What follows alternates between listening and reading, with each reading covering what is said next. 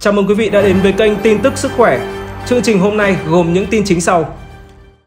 Không chỉ sốt và ho, bốn kiểu phát ban sau có thể là dấu hiệu đã mắc Covid.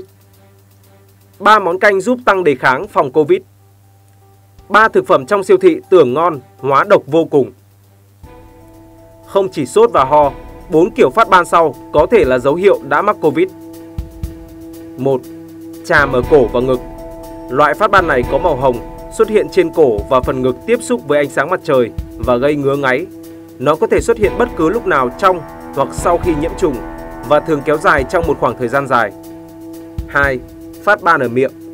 Khi bị phát ban ở miệng, môi của người bệnh có thể cảm thấy đau. Khi phát ban thuyên giảm, môi có thể trở nên khô và đóng vẩy. 3. Phát ban dạng sẩn và mụn nước.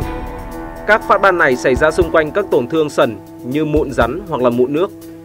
Phát ban dạng sẩn và mụn nước có thể xuất hiện ở bất cứ đâu trên cơ thể, nhưng nó thường phát triển ở khuỷu tay, đầu gối, mu bàn tay và bàn chân, không dễ nhận biết và gây ngứa ngáy.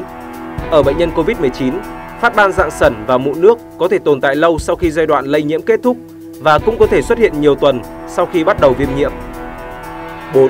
Phát ban dạng xuất huyết hoặc viêm tiểu mạch máu dưới da. Các vết phát ban này biểu hiện dưới dạng nhiều nốt đỏ đậm đặc hoặc đỏ tía và có thể gây ra các mảng giống như là vết bầm tím vậy. Chuyển sang thông tin tiếp theo. 3 món canh giúp tăng đề kháng phòng Covid. 1. Canh hoa thiên lý nấu cua. Vị ngọt của cua kết hợp với vị thanh mát của hoa thiên lý giúp bạn cảm thấy món canh ngọt, mát. Theo đông y, hoa thiên lý có vị ngọt tính bình, giải nhiệt, chống rôm sảy, là một vị thuốc an thần, làm ngủ ngon giấc, tư bổ tâm, thận, đỡ mệt mỏi đau lưng, có tác dụng chống viêm, thúc đẩy chóng lên da non. 2. Canh rau cải cúc nấu lá lách. Mỗi lần mệt mỏi trong người, ăn không ngon miệng mà có món canh cải cúc tráng ruột tạm thời thì rất mau thèm ăn trở lại. Người cũng khỏe khoắn hơn. Cải cúc chữa ho, cảm cúm rất tuyệt vời. Có thể nấu canh rau cải cúc với bất cứ thịt gì, nhưng khi kết hợp cải cúc với lá lách có tác dụng chữa ho, bổ phế rất tốt. 3. Canh mướp nấu hẹ. Món canh mướp nấu hẹ còn có công dụng trị ho, trị cảm cúm, hạ sốt cực kỳ hiệu quả. Vì bản thân trái mướp rất giàu chất dinh dưỡng, nó kết hợp với lá hẹ nổi tiếng trong việc hạ sốt, giải cảm, tạo thành món canh ngon và cũng là bài thuốc hay vô cùng. Chuyển sang thông tin cuối cùng. Ba thực phẩm trong siêu thị tưởng ngon, hóa độc vô cùng. Những thực phẩm này thường trông bắt mắt và hay được giảm giá, nhưng bạn tuyệt đối đừng mua khi đi siêu thị. Một, đó là thanh cua.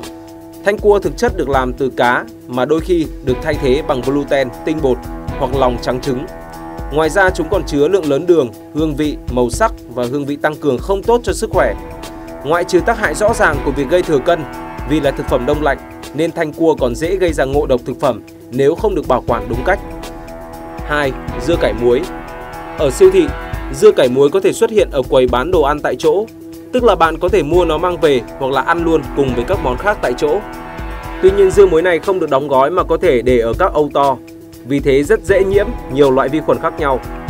Trong khi đó bạn còn chưa rõ nguồn gốc dưa muối này được làm như thế nào, liệu có được muối bằng thùng sơn hay không, hay có bị sử dụng chất vàng ô để làm cho dưa có màu đẹp hay không.